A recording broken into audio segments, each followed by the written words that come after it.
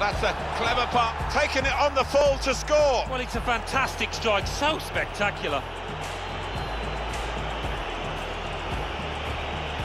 Well, this might just be a contender for goal of the season. With a move in mind too, what a good cross.